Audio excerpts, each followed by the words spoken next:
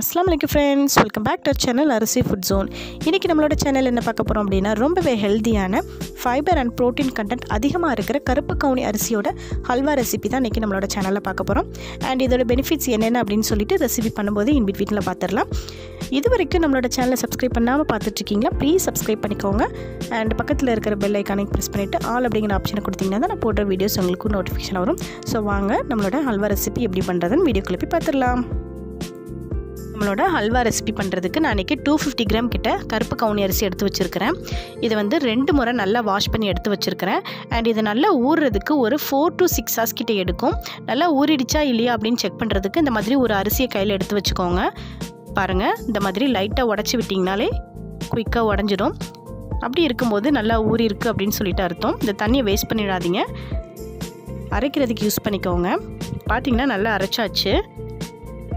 பாருங்கள் தோசை மாவு பதத்தில் நல்லா அரைச்சி எடுத்து வச்சுருக்குறோம். எப்பயுமே அல்வா பண்ணுறீங்க அப்படின்னா லோ ஃப்ளேமில் வச்சு குக் பண்ணுங்கள் அண்ட் இதோட பெனிஃபிட்ஸ் என்னென்னு பார்த்துடலாம் இந்த அரிசியை சாப்பிட்டீங்க அப்படின்னா எக்ஸ்ட்ராவாக வெயிட் போடாது. நெக்ஸ்ட் பார்த்தீங்கன்னா கான்ஸ்டிபேஷன் ப்ராப்ளம் வந்து ப்ரிவெண்ட் பண்ணும். சுகர் லெவலை ஸ்டேபிளாக வச்சுக்கும். பெரிய அட்வான்டேஜ் என்ன அப்படின்னு பார்த்தீங்கன்னா ஈஸியாக டைஜஷன் ஆகும். இப்படி நம்ம இந்த கருப்பு கவுனி அரிசியோட பெனிஃபிட்ஸை சொல்லிக்கிட்டே போகலாம். இப்போ பார்த்தீங்கன்னா இந்த கன்சிஸ்டன்சியில் வந்திருக்கு. இந்த ஸ்டேஜில் என்ன பண்ணணும் அப்படின்னா தேங்காய் பால் சேர்த்துக்கணும். தேங்காய் பால் எந்த அளவு அப்படின்னு சொல்லி கேட்டிங்கன்னா நம்ம கருப்பு கவுனி அரிசியை ஊற வச்சு அரைச்சி எடுத்தோம் இல்லையா? அந்த பாத்திரத்தில் ஃபுல்லாக இருக்கிற மாதிரி பார்த்துக்கோங்க அதாவது நான் வந்து டூ ஃபிஃப்டி கிராம் கருப்பு கவுனி அரிசிக்கு ஒரு பெரிய சைஸ் தேங்காய் எடுத்து நல்லா ஃபுல்லாத்தையுமே நான் வந்து பால் எடுத்து வச்சுருக்கிறேன். வச்சுருக்கிற தேங்காய் பாலை மொத்தமாக சேர்த்துக்காம இந்த மாதிரி கொஞ்சம் கொஞ்சமாக சேர்த்து நல்லா மிக்ஸ் பண்ணி விட்டுக்கோங்க. இப்போது மீதி இருக்கிற தேங்காய் பாலை சேர்த்து நல்லா மிக்ஸ் பண்ணிக்கலாம்.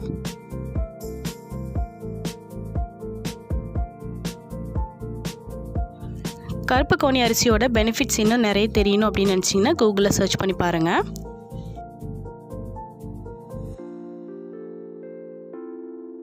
மொத்த தேங்காய் பால் சேர்த்ததுக்கப்புறம் இந்த கன்சிஸ்டன்சியில் இருக்கும்.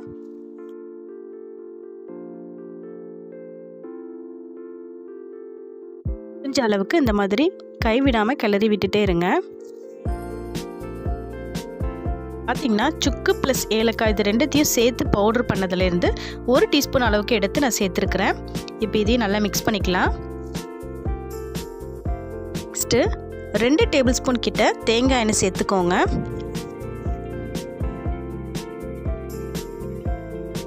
எண்ணெய் சேர்க்கும் போது அதிகமாக சேர்த்த மாதிரி தான் இருக்கும். நல்ல குக் ஆனதுக்கப்புறமா அது எல்லாத்தையுமே நல்லா அப்சர்வ் பண்ணிக்கும்.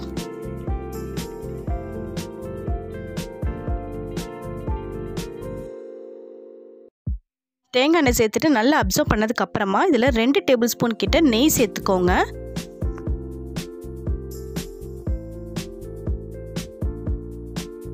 நெய் சேர்த்ததுக்கப்புறமா இதையும் நல்லா மிக்ஸ் பண்ணிக்கலாம்.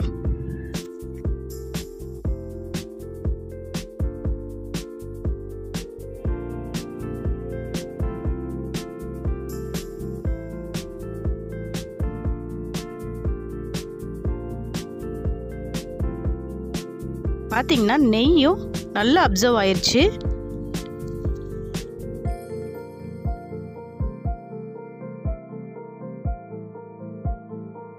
நெக்ஸ்ட்டு ஒன்றரை கப் அளவுக்கு நாட்டு சர்க்கரை சேர்த்துருக்குறேன். சுகர் சேர்க்குறதா இருந்தாலும் சேர்த்துக்கலாம். உங்களுக்கு எந்த அளவுக்கு ஸ்வீட்னஸ் வேணுமோ அந்த அளவுக்கு நீங்கள் ஸ்வீட் சேர்த்துக்கோங்க.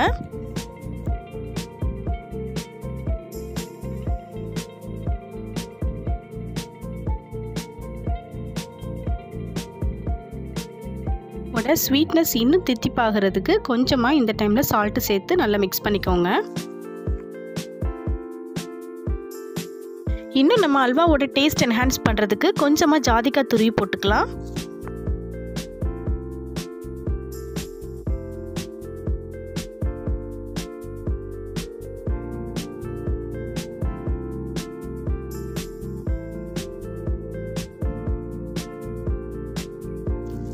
இப்போ பார்த்தீங்கன்னா நம்ம ஹல்வா வந்துட்டு ஆல்மோஸ்ட் ரெடி ஆயிடுச்சு இந்த டைமில் கொஞ்சமாக நட்ஸ் சேர்த்துட்டு அதையும் மிக்ஸ் பண்ணிக்கலாம்.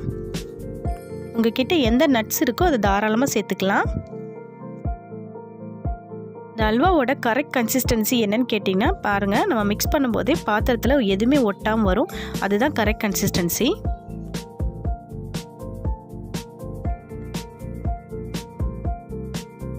நட்ஸ் எல்லாத்தையும் சேர்த்துட்டு ஒரு தடவை நல்லா மிக்ஸ் பண்ணிவிட்டு இப்போ ஸ்டவ் ஆஃப் பண்ணிடலாம்.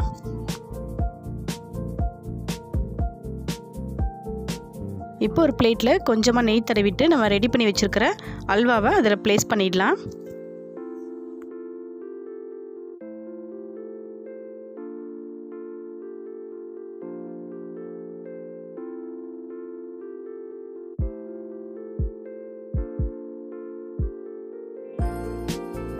கார்னிஷிங்காக நான் கொஞ்சமாக நட்ஸு சேர்த்துருக்குறேன்.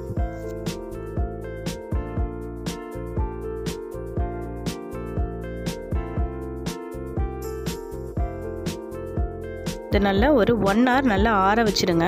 ஆறுனதுக்கு அப்புறமா தான் சின்ன சின்ன பீசஸாக கட் பண்ணி எடுத்துக்க முடியும். நிஜமாக சொல்கிறேங்க இதோட டேஸ்ட்டும் ரொம்பவே சூப்பராக இருந்துச்சு. கண்டிப்பாக ட்ரை பண்ணுங்கள் ட்ரை பண்ணிவிட்டு எப்படி இருந்ததுன்னு உங்களோட ஃபீட்பேக்கை என்னோட கமெண்ட் செக்ஷனில் சொல்லுங்கள் அண்ட் இந்த வீடியோ உங்களுக்கு ரொம்பவே பிடிச்சிருக்கும்னு நினைக்கிறேன். பிடிச்சிருந்தா லைக் பண்ணுங்கள் ஷேர் பண்ணுங்கள் கமெண்ட் பண்ணுங்கள் மறக்காமல் நம்ம அரிசி ஃபுட் ஜோன் சேனலை சப்ஸ்கிரைப் பண்ணிக்கோங்க. Thank you